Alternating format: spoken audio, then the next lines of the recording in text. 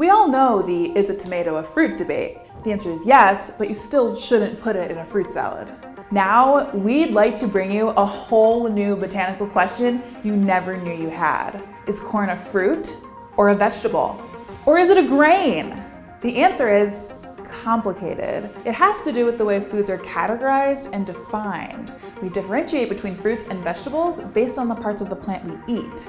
If we ingest the part derived from the ovaries or other reproductive tissue, we call it a fruit. Everything else, we call a vegetable. Going strictly by that definition alone, corn is a fruit. Hear me out, this isn't that crazy.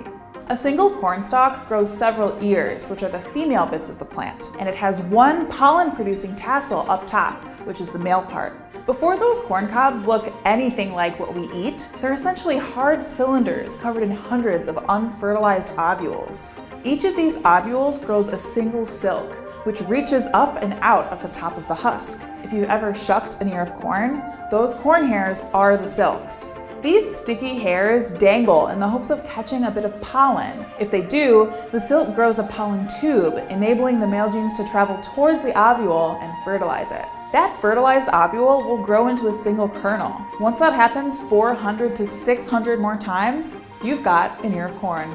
Here's the thing though, for most fruits, you eat the fleshy bit, but not the seeds, like snacking on an apple or a pear.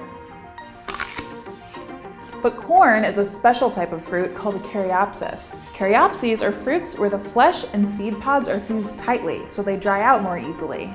You might be more familiar with other varieties, like wheat, millet, or oats. That's right, caryopses are also grains. So now that we know corn is both a fruit and a grain, that brings us to our final question. Is corn a vegetable too? Scientifically and botanically, the answer is no, but there's still a case that you could make for it. Vegetable has become somewhat of an arbitrary term in modern language due to its catch-all nature. Fruit is something that you can pick up and eat immediately. Anything that's not a fruit is labeled a vegetable. And we have a few preconceptions about veggies. They're hard until they're cooked, and they aren't sweet or juicy, but fruits can have those same characteristics too. Pumpkins, peas, and peppers are all technically fruits, but they're treated as and called vegetables by most people. There's a decent, albeit philosophical argument to be made that we should go by the definition that most people use. But in the end, the categories you assign to corn are up to you. It turns out there's a kernel of truth to them all.